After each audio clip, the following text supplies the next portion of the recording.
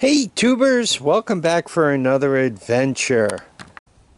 This thing has an ignition issue and there are a few ways around it. Obviously to get it running, uh, I initially put this portable CDI box on it. After that, I went to uh, go back to the OEM ignition system and I wired it all up and this this is a spare. Um, I pulled the CDI out and I checked the ohm value for all those points in there and they were what they should be. So I put it all back together and it wouldn't start and run, wouldn't spark. Um, so I messed with it some more and I got a spark and it would intermittently spark and it it was just being fussy. So I said, okay, um, this is the right CDI for a 200 ES, and that's important. It's different than the M, it's different than the E. You actually have to use a 200 ES um, ignition in there, or CDI box. So I swapped that out, and same thing. Then I swapped out the coil, and the same thing. So I said, you know what?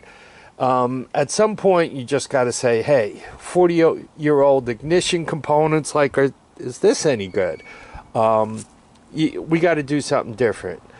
So I decided to hack a um, 12 volt uh, pit bike ignition system into it, and it's it's actually a lot easier than you think. So you could buy this ignition system as a kit, and you get the wire harness, you get the coil, and you get the four pin. You see, there's only four pins in there, 12 volt CDI, and if you do that search, um, I got this from eBay. I don't know. If you buy a few of them, I think they're like 17, 18 bucks each. Um, but if you put that listing in, you might be able to get them from Amazon or someplace else. So, buy the ignition system, and what do you do? You obviously got to plug in the CDI, and then it's easy enough, right? You got those connectors. I can't say the kind they are because, you know, our friends don't like that, right? You plug them in, right? Black and yellow, green. Black and yellow and green, right? So you just plug all that together and you're all good. Um, now you got to carry this over to your bike and we're going to hook it up there. So now to hook this up, it's really a piece of cake, right? I ended up putting the new CDI where the old one was. I just unplugged it. The wire harness is just fine. I just unplugged things. And I put the new spark coil where the old one was. Take note how, you know, we did attach the ground wire. This ground wire was there. Obviously spark plug wire onto the spark plug. Now, from your coil, right, these were plugged in before, right? As you look at the other end, at the business end here, right? Green wires go to ground. One green wire, right? You got your pulse generator. One green wire went to the pulse generator. The blue and white went to the blue and white on the pulse generator, right? All those things. Could it be any easier? Then you keep going, right? The black and red wasn't quite long enough, right? I'm showing you this is black and red, I think. So I, I put a green or um, red wire on it, and I ran this out to the wire harness that would normally stuff into the bucket of the headlight. And so when you turn this on, right, power goes right to that guy. So the CDI is happy, right? It's got power, it's got ground, it's got a coil. The coil's hooked up, right? The motor definitely has a nice ground. And it's got power. Doesn't need anything else. You all might be looking at this going, yo, I see a um, black wire with a red stripe. Well, that doesn't hook up to anything, right? If you look at this, this is only a 4-pin, so it goes nowhere on the 4-pin. And normally, quite honestly, I end up cutting the wire and taking it the heck right out of the harness. You guys could leave it there. I just want to mention it so that I don't get 14 comments with the question, where does the black wire with the white stripe go? It goes nowhere. anyway, once you smash this all together, I think you're going to be surprised on how well it runs, how easy it is to start, how happy you will be. Uh, for some of you guys in the more advanced class, right, you have a mechanical advancer in here. When you go to start it, it is in the delay mode. It delays the spark a little bit, and then it advances as you increase the RPM when you go to start this thing, that's also in the delay mode. So you kind of have a double delay. And some of you may say, is that bad? Actually, it makes it a little easier to start the motor. It doesn't pull back on you, try to jerk your arm out of the socket and beat you about the head and shoulders with the loose end. So um, that's a good thing, obviously. Now, as the RPMs advance, the delay goes away there, the mechanical advances, and you get back to right where you're supposed to be so you have your full performance. So it actually starts a bit easier, um, especially with the pull starter, and there you are. Uh, one other quick thing, for this thing to spark, to uh, pulse, you want your 12 volts. So if you have a weak battery in here, especially when you hit the electric starter and you engage the electric starter, the voltage will go down low. You can lose spark. So make sure you got your 12 volts. If you got a real weak battery on there, put your uh, jump pack on there and then use the pull string. It'll start right up. This thing needs 12 volts to fire. At 11.8, 11.4, depending on exactly which unit you're holding in your hand, your spark goes away. So you're going, oh, my battery's good, but I got no spark. What's wrong? You need your 12 volts, okay? Not 11 and a half, you need 12. And if it's a little more than 12, like when it's running, you even get a better spark yet. Anyhow, now that this is all put together, I'm going to roll it out there. I'm going to show you that in fact you can turn it on and start it and go backwards and forwards and the lights all work and all that stuff. And we're going to take it for a nice long ride and bounce it about to make sure the connections aren't going to undo. Then we're going to tidy things up. I still have to patch the gas tank and do the front forks so I have more work to do on this but let's get a ride right? Anyway there we are. So whether you're all-terrain vehicle is 40 days old or 40 years old, this is where you want to be. You want it to key start. It's a little cold.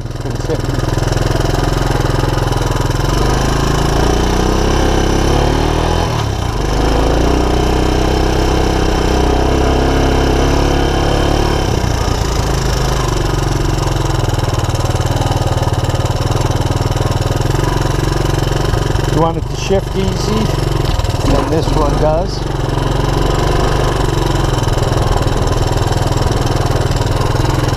I would use a little air and some tires.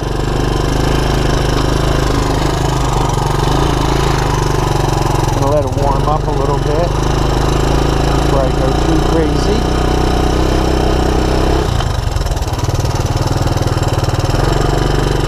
gonna up that gas bottle very well. This thing has a collapsed front suspension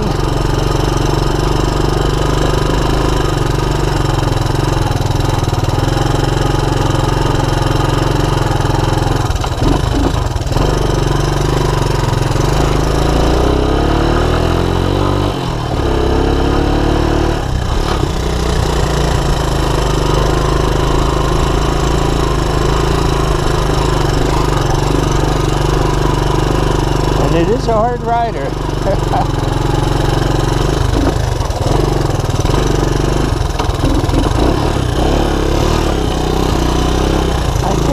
Carb, this carb is not a perfect carb. Not bad, it's not great. Maybe my gasoline's a little old too.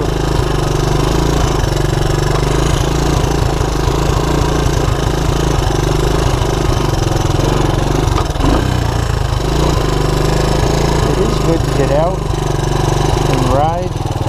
Got a beautiful day today. It's about 70. I'm a little surprised. Ah. Crooked bushes. Surprised I'm not hearing the peepers. Maybe this thing is making more noise than I'm. No. The peeping crowd should be peeping away.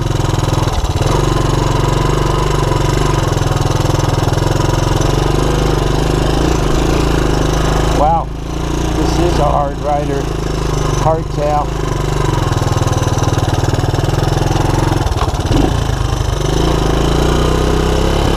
I'm in high range. So, we got both dashboard lights working. The only thing that's not OEM is the starter will not engage if you're not in neutral. You can't electrically start it in gear. But if you're in gear and you pull the string, you can start it. The other situation, I don't consider it a big deal. But um,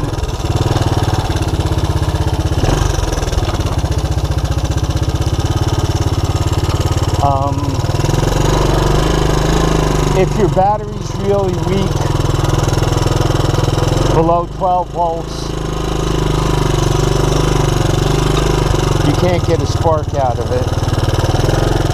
So you got to make sure you have a battery to it. It doesn't use the onboard CD or the onboard stator other than for charging the battery. So I guess the other onboard stator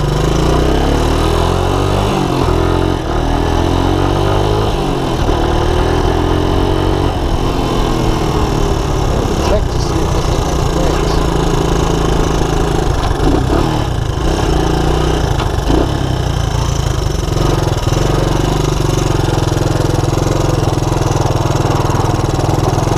Yeah, let's see what this thing will do.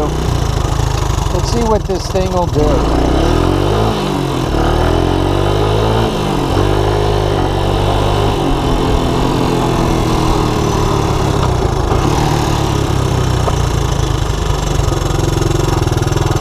Yeah, I normally don't have to adjust these carburetors. I'm a little surprised. This one didn't really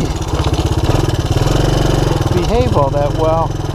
So I, I had to tweak, tweak the um, idle mixture. Normally I just open the idle mixture up one full turn and it's all happy.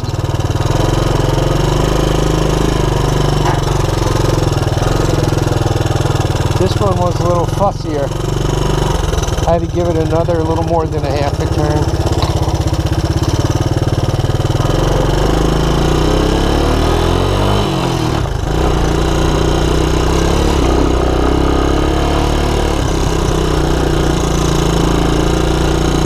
I'm happy with it. What do you guys think? Let me go in the shade. I'll show you reverse.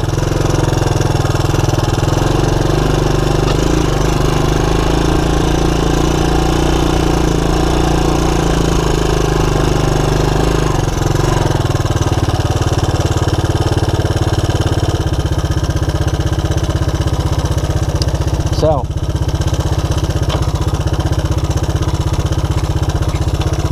there you go. See neutral. That's slow. And there's reverse. See the lights on? So,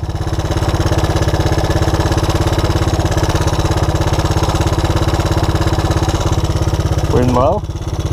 There you go.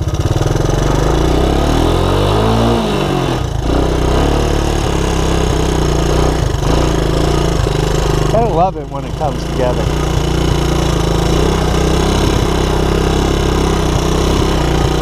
Complaints here. So what do I have left? I have to tie up the cables in the front. And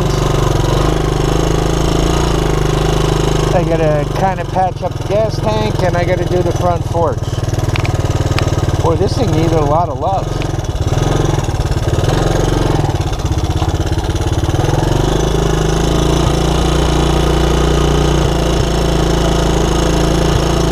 Reminds me of myself.